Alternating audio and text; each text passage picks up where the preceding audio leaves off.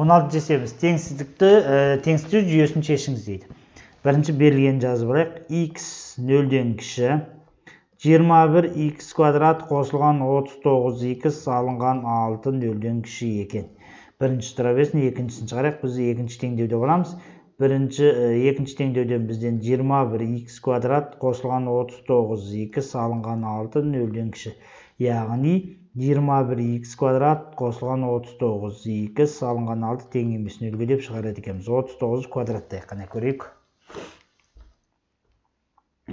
39 квадраттап көрейік. Компьютермен есептей берсек болады. Сіздердің енді де қолдануға мүмкіндіктеріңіз бар. Яғни 39 көбейту 39 яғни 1521 алынған.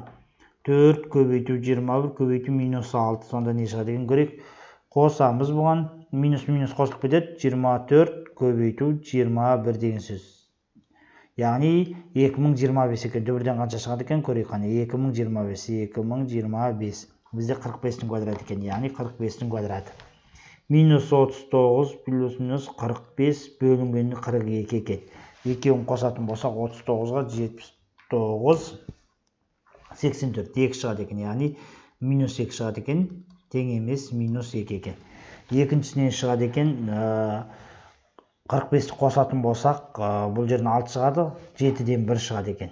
6 шығады екен де яғни бұл жерде минус 39 45-ті қоссақ 6 7-ден 1 деген жауап болады екен. Түсінікті ғой иә балалар. Енді қарайық сан өсінде белгілейді. Енді сан өсінде белгілейтін болсақ бірінші теңдеу және екінші теңдеу дейді мынау бізде бірінші теңдеу бірінші теңдеуді бір деп қояйық бізде бірінші теңдеу нөлден кіші деген мәнді қабылдасын деп тұр екен нөлден кішіні белгілеп қояйық көрдіңіздер ма екінші теңдеуден бізде не шықты екен минус екі мен жеттен бір екен минус екі мен жеттен бір деген жауап шықты екеуі де тең емес енді ортасында нөл деген сан бар нөлді қоятын болсақ берілгенін қояйық нөл нөл минус сан көрдіңіздер ма міне нөл болып кетеді нөл болып кетеді минус санға қалады екен оң сан нөлден кішісін қабылда деп тұр нөлден кіші болса онда минус таңба екен көрдіңіздер ма екеуінің қиылысқан жері қай жер? Яғни қызылмен белгілесек те өздеріңізге түсінікті болып шыға келеді. Міне мына жерде және мына жерде екен. Екеуін қиылысқан қай жерде? Минус екі мен нөл деген жер екен. Мына бізде қиылысқандық белгі. Қиылысқандық белгі екен. Түсінікті ма? Жауап минус екі мен нөл деген жауапты аламыз. Жиырма бірінші есебіміз теңсіздіктер жүйесін шешіңіз дейді. Яғни теңсіздіктер жүйесін шешіңіз дейді. Онда бір рет берілген жазып алайық қараңыздар. Иә берілген жазып алатын болсақ. Яғни қараңыздар берілгені қандай екен? Яғни бөлшек түрінде екен. Енді бастайық. X қосылған 1 x салынған 2 x салынған 6 нөлге теңес нөлден үлкен. Келесі x қосылған 5 4 алынған 2 Э, екі салынған үш нөлге тең немесе нөлден үлкен дейді. Енді сразу сұрау берейік оны білеміз қандай міне алымы нөлге тең бөлім нөлге тең емес деп аламыз. Алымы минус бір болады тең минус бір болады. Көрдіңіздер ғой минус бір бұдан екі шығады екен тең екі болады.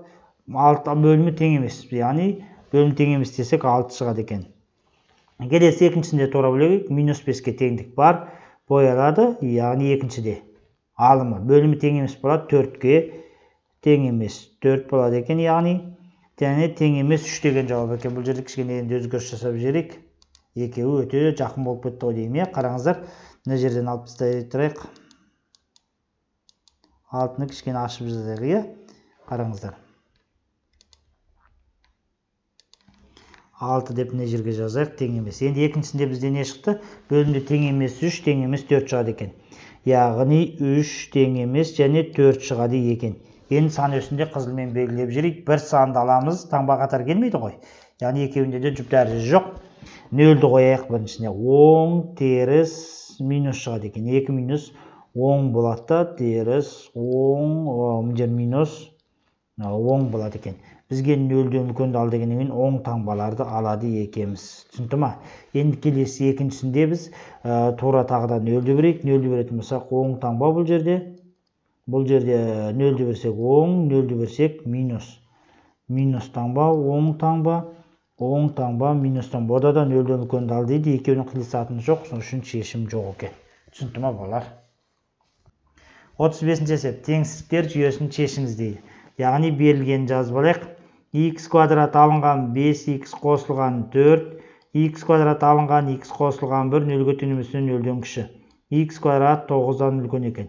биринчи теңдөө жана экинчи теңдөө деп чыгарайык онда биринчи теңдөөдөн баштайык бизде биринчи теңдөөдө э, біріншін жазатын болсақ x квадрат алынган беш x қосылған төрт x квадрат алынган x қосылған бир нөлгө тең нөлдөн нөлден кіші алымын нөлгө тең деп шығара беруге болады теңдік бар. Сонда бул жиктелет экен x алынган төрт менен x алынган бирге жиктелет экен тең нөл. Сонда x тең 4 x тең 1 шығады екен. Екінші теңдеуіміз бізде x квадрат алынған x қосылған 1 тең, тең емес нөлге. Дискірман шықпайды. 1 алынған 4 минус 3 шешім жоқ. Көрдіңіздер ме? Енді біз екінші үлкен теңдеуге келсек x квадрат 9 екен. Яғни x квадрат алынған 9 нөлден үлкен деп аламыз.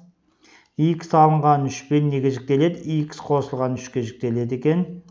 Сонда бұл жерден шығады екен x тең емес 3 x тең емес минус 3 түсінікті ма балалар.